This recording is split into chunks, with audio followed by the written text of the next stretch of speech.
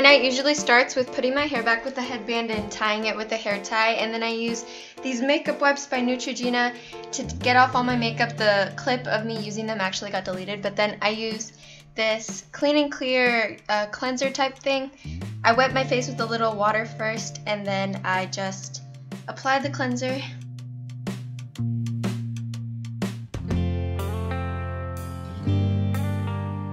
Then I just rinse it off and my face was a little bit out of frame here, sorry about that.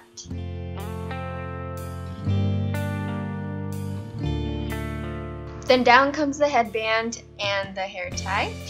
Then I just go ahead and take a shower with my clothes on. Just kidding. But yeah, I seriously do take a shower.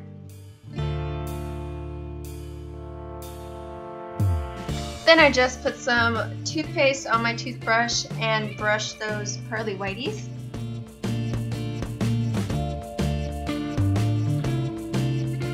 Then I just rinse. Sorry if this kind of grosses you out, but yeah, this is what I do.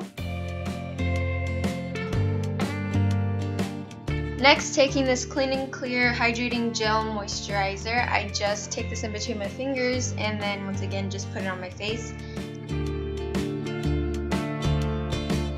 Then the most dreaded part of all, I have to put these Mountain Gorilla little tiny rubber bands and I have to sleep with them on and I actually have to wear them throughout most of the day but I'm kind of lazy so I have to get on that but yeah I just put them on and they are as painful as they look. I don't like them at all. And then I just apply this EOS lip balm because uh, my lips get super chapped at night so I, yeah I just pack it on.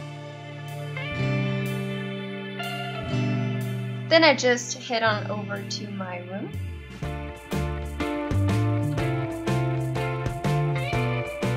And I hop into my bed. Next, I just get on my phone and I go on YouTube, watch a couple videos there. And then I go to Instagram as well and then just scroll through my feed until I get sleepy